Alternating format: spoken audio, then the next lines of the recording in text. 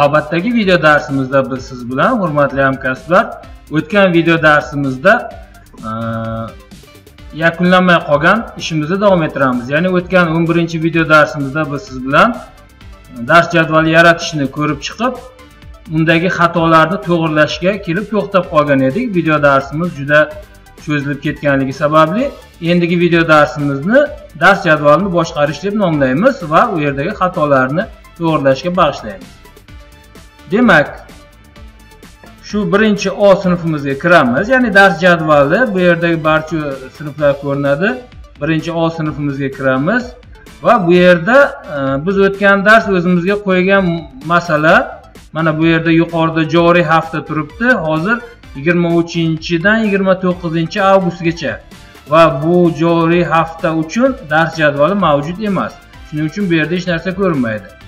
Butun davr uchun jadvalga chap tugmani bosganimizda mana biz o'tgan darsda qilgan ishimiz ko'rinadi. Ya'ni birinchi va ikkinchi haftalarga dars jadvalini nashr etgan edik. Qolgan haftalarga yo'q edi.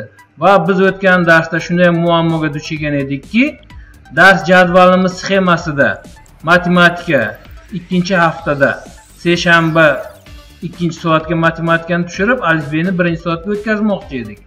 Va buning uchun biz o'tgan darsda aytdikki e, biz sxemani o'zgartirganimiz bilan nashr etilgan joydan ham shu joy bo'sh qoldirishimiz kerak edi. Shuning uchun mana bu yerdan demak birinchi chorak butun davr uchun jadvalga kelamiz va qayerda o'zgarish kiritish kerak bo'lsa shu katakchalarni bo'sh qo'yishimiz kerak ya'ni o'chirib chiqamiz. Dastlab aytaylik matematika mana ustiga sichqonchani keltirgan keltirishimiz bilan mana shunday Э, kichkina menyu deyishimiz mumkin paydo bo'ladi. Va bu yerda o'chirish uchun ushbu qizil belgini bosamiz. Va mana bu yerda darsni o'chirish tugmasini tanlaymiz. Ha o'chirib tashlangni bosamiz. Va mana bu yerda ko'rib turibmizki bo'sh. Endi ikkinchi alifbeni ham bu yerdan o'chiramiz.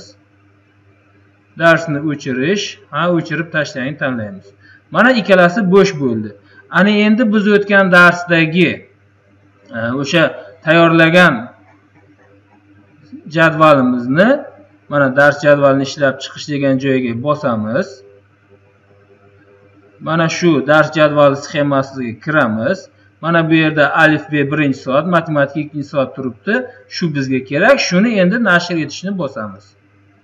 Va nashr etish jarayonida e'tibor qiladigan bo'lsak mana shu biz uchun muammoli bo'lgan ikkita katakcha bo'sh turibdi. Oldingi sxemasida matematika birinchi soat edi endigi sxemada matematika ikkinchi soatga tushgan edi. Shu yerda nashr etishni tanlaymiz. Mana bu yerda endi matematika ikkinchi soat alifbe birinchi soat turibdi. Xuddi shunday tarzda har qanday o'zgarishlarni e, joriy etishimiz mumkin.